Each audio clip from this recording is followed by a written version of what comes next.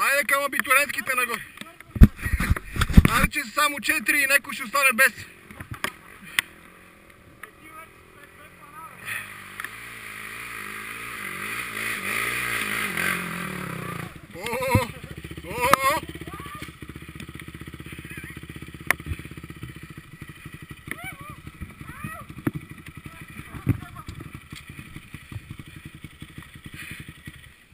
Аз изкривих ръчката на съединителя.